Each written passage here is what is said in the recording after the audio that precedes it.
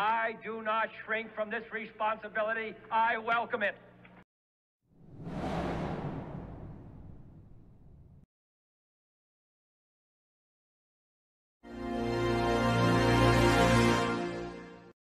Freedom is indivisible.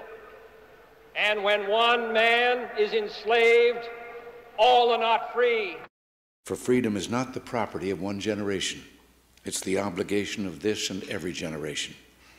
It's our duty to protect it and expand it and pass it undiminished to those still unborn.